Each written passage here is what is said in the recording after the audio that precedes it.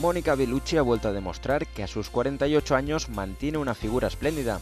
La modelo se ha convertido en la protagonista de Vanity Fair y es que aparece en la portada de este mes. En la bañera enseña por qué es el último gran mito erótico.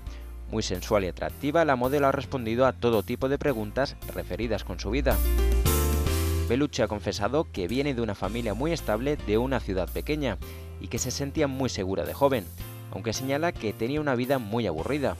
Por ello reconoce que le encanta hacerse mayor. En cuanto a su marido, el actor Vincent Cassel, Mónica demuestra que está muy enamorada de él.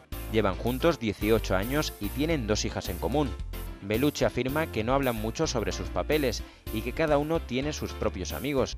Además señala que Vincent es un excelente padre. Muchos la consideran la heredera de Sofía Loren, y es que desde que dejó su carrera de modelo ha consolidado su trabajo en el mundo del cine.